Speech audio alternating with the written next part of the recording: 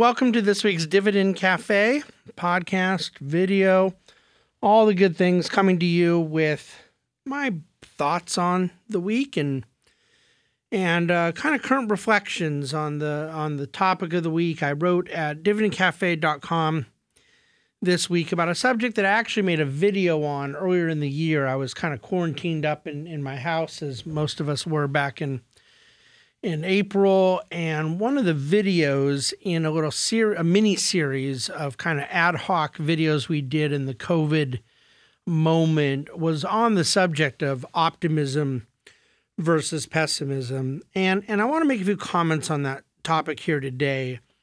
Uh, not so much in the exact same vein as what that video was on, what seven or or eight months ago, but um, kind of more evergreen approach to the topic, something that I happen to think is really, really important to the the long term uh, investment success that a particular investor may have uh, that comes out of their general disposition uh, favoring um, a more optimistic viewpoint on things, a more pessimistic view, and and one of the things that I I will suggest to you is that an optimist does not mean, and the success that an optimist might achieve as an investor, let alone, by the way, as a as a human being, does not mean the ability to look back on things that ended up turning out okay and saying, okay, well, now I'm an optimist. In other words, optimism is not, by definition, uh, a rearview mirror, backward looking condition or viewpoint or framework. Optimism it requires a forward looking expectation to be considered optimistic. If you're looking backward and saying, oh, yeah, look, that all worked out, that's merely descriptive. Uh, and, and, and yet, what I would suggest is the hangup for a lot of people who struggle with, with becoming optimistic is, in fact, the inability to look backwards on things that empirically suggest a reason to have an optimistic framework into the future and yet are unable to translate that. They're unable to translate past experience into future expectation. That there is something in the coping mechanism of pessimism, and there is something soothing about a sort of pathological pessimism um, that that people are unable to let go of. And and it's important for me to say, as I wrote in Dividend Cafe, that my when I describe myself as a generally optimistic person, imperfect, I'll, I'll, albeit generally so, I don't mean it as a compliment. Now, I I I uh, do believe that there are a lot of merits to being optimistic, and I generally like optimistic people more than I like pessimistic people. But I'm I'm being I'm saying this for a number of reasons. Um, I'm not trying to toot my own horn and describe myself as an optimist, but it is because there is a kind of lesson in my journey of optimism um, that I think is exactly the same journey and same kind of principle I'm trying to extract into the investment world. Um, I don't feel that I have a choice but to be optimistic. And that is not because I've never had bad things happen. It's because of bad things that have happened. And I mean a ton of them, and I mean some really bad ones. And horrific things that, that have happened to me in my life that time and time and time and time and time again turned out okay. Sometimes turned out more than okay.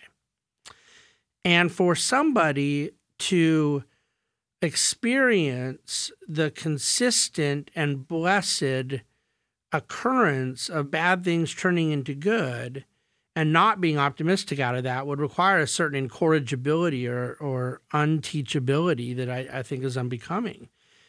And, and so it is out of that sort of empirical lesson um, that that it, it, being informed by the testimony of history, of reality, of experience, that has produced a kind of personal optimism and and that's the translation I'm going for into the investment world. It is simply impossible for me to comprehend somebody um, a student of history, a student of markets, of economics, of the very principles of how capital works, how the profit motive works, of, of what the true relentless nature of capital's most rational use really is.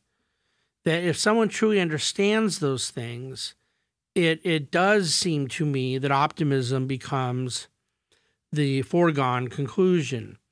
And yet, when we say optimism, when we mean optimism, we do not mean that we believe the next week is going to go well, or the next month will be free of volatility, or the next year will be free of conflict. Rather, it means that there will be challenges and, and uncertainties and volatilities and conflicts. And the optimism becomes relevant in how we see the other side of those things, which is them not only working out, but actually working out to one's fate to our favor.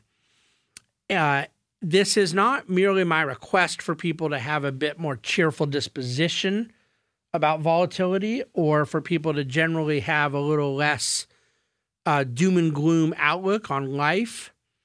It is more because I believe it has become expensive to be a pessimist. I think it has cost people too much money. And the time of for pessimism to be a foundation of an economic or an investment worldview, it's time for it to come to an end. I do want to point out that people might say, well, look at the financial crisis, you little optimistic uh, Pollyanna. Look at the COVID moment in March. Look at 9 11. Look at some of the great recessions that we've experienced. And I guess I would point out the kind of obvious response to those things. Financial crisis, by the way, was the doozy of them all. It was an unbearably painful experience. I've talked about it, written about it at great length. It was an existentially profound moment in my life and career. But it also was 18 months long. All my all my clients have a a far greater than 18 month timeline. If we're really being honest, it was about a six month long experience of the real peak kind of dread and what was happening in, in the stock market.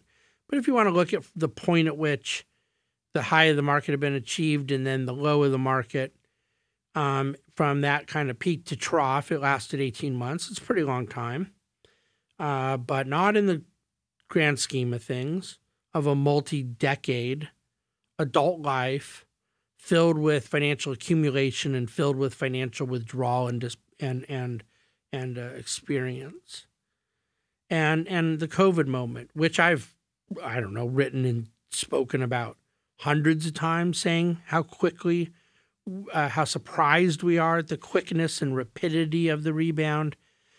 Yet it bears repeating 36% in 31 days, and then the biggest 50 day recovery we'd seen.